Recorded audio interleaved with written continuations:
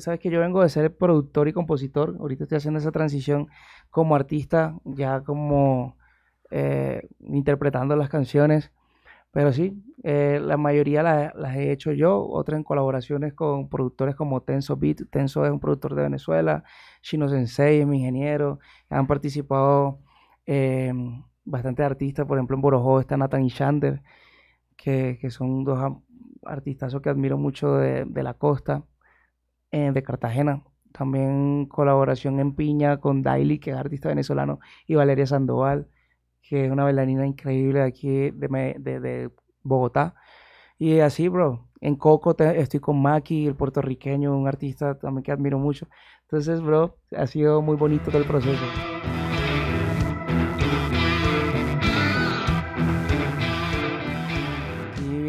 Gusta mucho hablar de, de, los inicios porque es muy especial.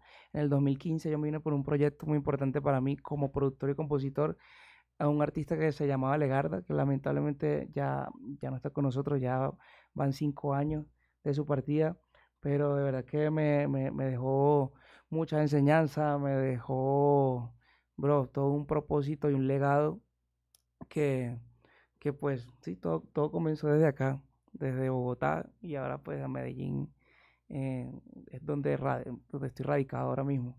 Pero muy especial todo, todo el proceso en Bogotá con, con Legarda, como te cuento, fue muy, muy importante para mí.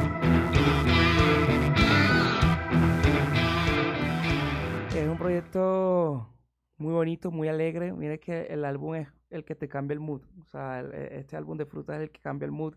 Si tienes un día pesado, un día complicado, como todos los, los, los tenemos, un día difícil, pues siento que frutas tienen la capacidad de, te transmitiste otro mood y de, sacarte una sonrisa, de hacerte sentir en la playa aunque estés en, la sala de tu casa o en, tu casa. Ese es como el propósito de este álbum. Y por acá me acompaña La Piña. le íbamos a poner nombre, pero no le pusimos nombre. Ayer le pusieron y que Beatriz, que tiene cara Beatriz.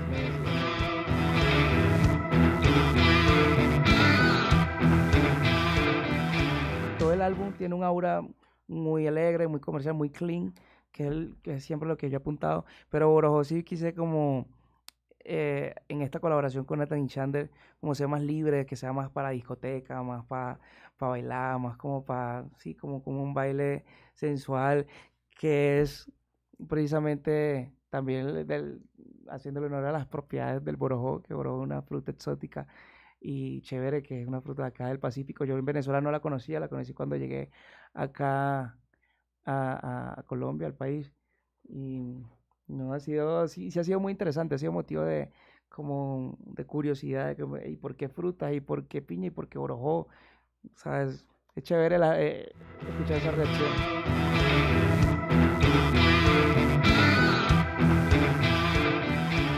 Orojó lo grabamos en la minorista de Medellín que queda en Itagüí y fue súper chévere, una experiencia que llegamos allá y nos recibieron súper bien, eh, nos dieron los espacios, eh, pudimos, sí, pudimos expresarnos full y hasta allá. Siento que, que, es un lugar chévere y eso lo queremos replicar y hacer mucho contenido y compartir con la gente a nivel nacional y, eh, y pues con el propósito y la meta de hacerlo a nivel internacional en todas las plazas de mercado. Me pueden conseguir por todas las redes sociales y todas las plataformas como DJ2021, DEJOTA 2021, para que escuchen todas las fruticas, piña, uva, mango, ya está saliendo todo.